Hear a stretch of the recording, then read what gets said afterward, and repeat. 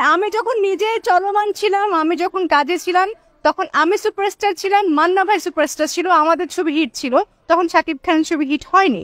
যখন আমি আস্তে আস্তে সরে আসলাম তারপর থেকে ও হিট হওয়া শুরু করল। বাংলা চলচ্চিত্রে একসময় জনপ্রিয় চিত্র অভিনেত্রী পূর্ণিমা। বর্তমান সময়ে অনেক অভিনেতা ও অভিনেত্রীরা সময়ের জনপ্রিয় নায়ক সুপারস্টার শাকিব খানকে নিয়ে আলোচনায় জমেছেন। তবে সেই আলোচনা সুপারস্টার শাকিব খানের বিপরীতে নাকি পক্ষে এমনটা বোঝা বর্তমানে অনেক মুশকিল হয়ে দাঁড়ায়। ইতিপূর্বে এক অভিনেতা বলেছেন ঈদে ঈদে সিনেমা রিলিজ করলেই সুপারস্টার হওয়া যায় না।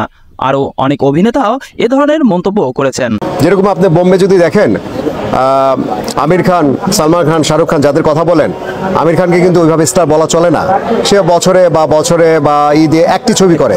এদিকে পূর্ণিমা বলেন, আমি এবং মান্না ভাই যখন একসাথে ছিলাম, তখন আমরাই সুপারস্টার ছিলাম। আমরা সরে এসেছি বলে আর শাকিব খান সুপারস্টার হতে পেরেছে। এমন বক্তব্যে বোঝা যায়, শাকিব খানকে কোনোভাবেই সুপারস্টার হিসেবে মানতে নারাজ তারা। তবে বর্তমান সময়ে সিনেমা প্রেমীরা বলেন, শাকিব খান বর্তমানে খুব ভালো ভালো সিনেমা উপহার দিতে চলেছে। এবং এই সিনেমাগুলোতে বাংলা ইন্ডাস্ট্রির অনেক অভিনেতা অভিনেত্রীকে নেওয়াই হচ্ছে না।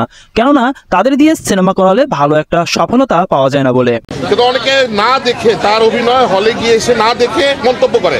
সাকিব খানের অ্যাক্টিং স্কিল বলিউডের কোনো নায়কের সাথে তুলনা করতে পারবেন। আর এই কারণেই হয়তো ইন্ডাস্ট্রি অনেক অভিনেত্রীরা সাকিবের পিছিয়ে লেগেছে। প্রিয় দর্শক সাকিব খানের আলোচনা করে কি সাকিব খানকে দমানো যাবে তা অবশ্যই কমেন্ট করতে ভুলবেন না। পরবর্তী আপডেট পেতে চ্যানেল সাবস্ক্রাইব করে পাশে থাকুন। ধন্যবাদ।